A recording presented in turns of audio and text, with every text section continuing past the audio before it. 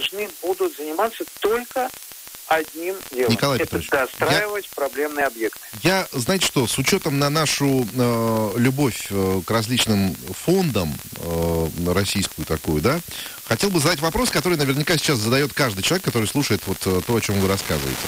А где у нас гарантии того, что эти фонды действительно будут, во-первых, а, контролироваться жестко, и э, с этими э, деньгами, которые там в этом фонде будут аккумулироваться, регионы мы знаем ведь с вами, как это все, как говорится, э, порою происходит. Раз-раз был фонд, хоп, а его уже нет. Или, например, вроде как будто бы деньги собираются в фонде,